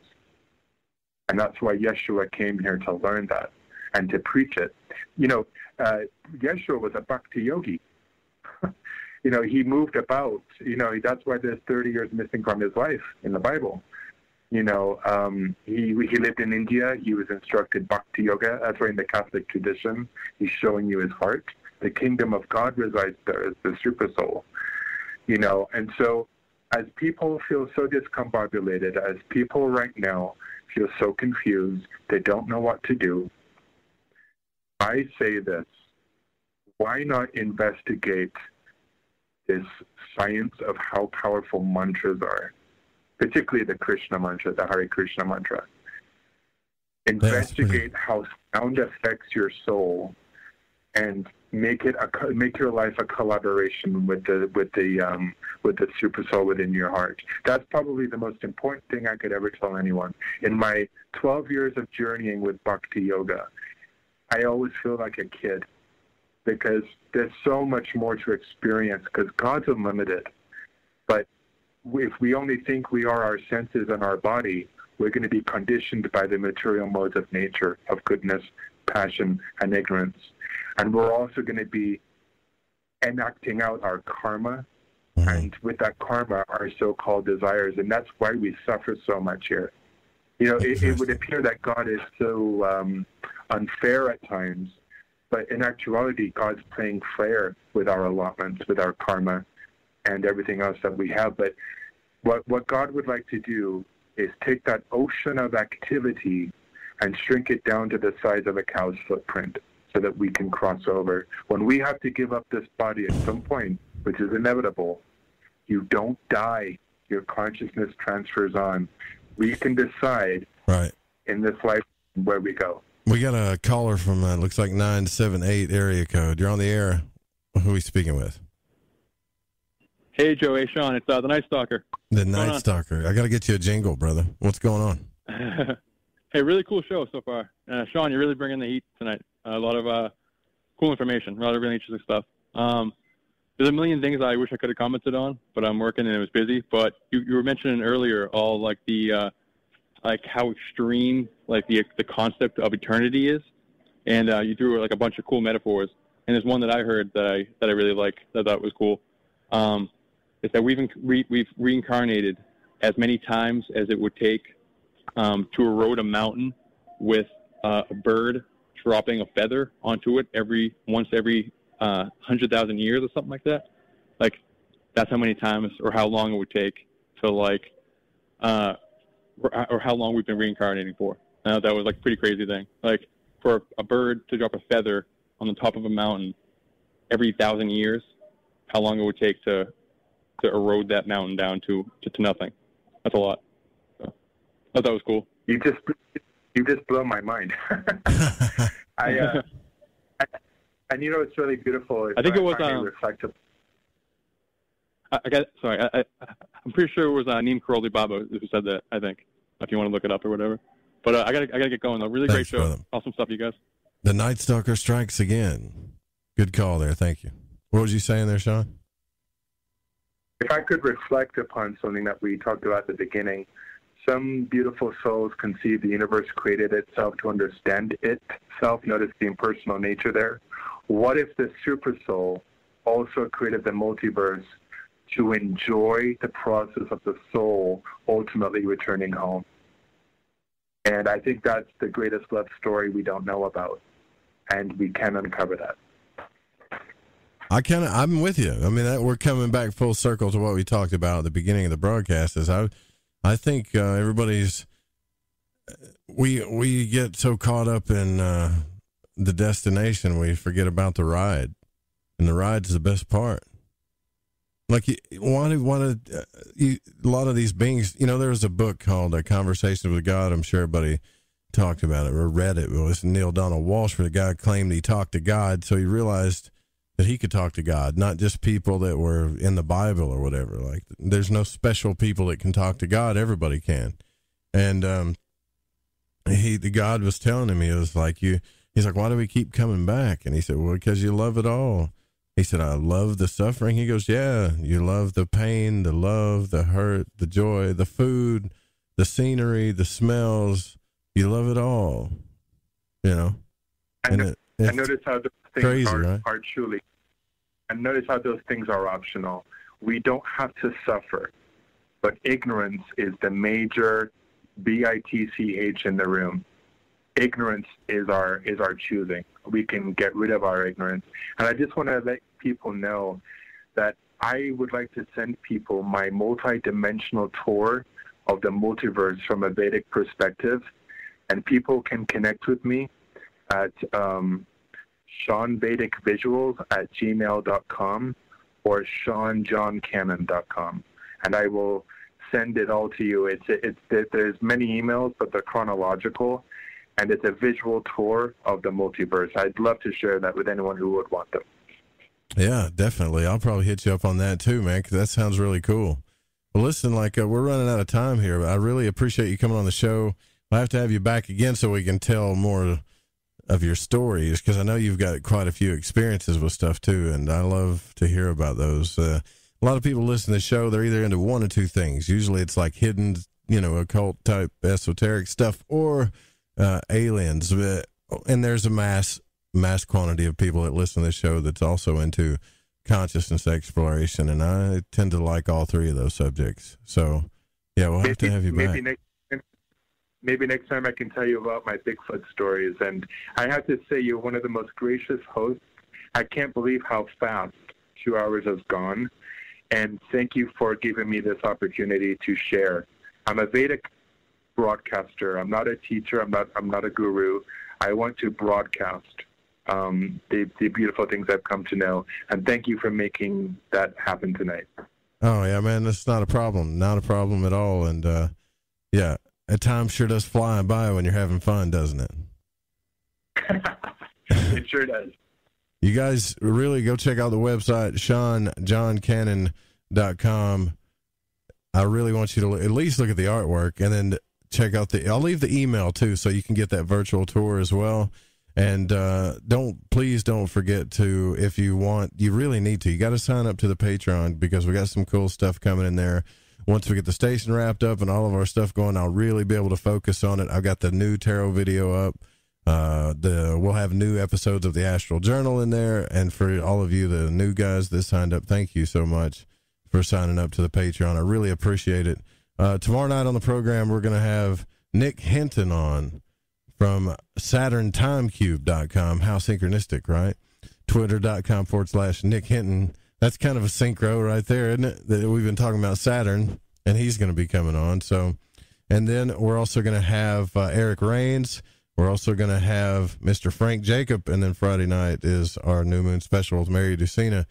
You guys, we got to get out of here. I want to thank Pacho for making this all happen. My producer Patrick Newland. You guys in the Fringe FM chat. A warm shout out to the patrons and all of my love to the Fringe FM staff and their team, and the music behind all of this. The Steezy Stevie is the DJ.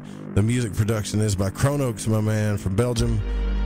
We'll be back tomorrow night, same time. Stay tuned for the Secret Teachings right here on the Fringe FM right after this. Good night.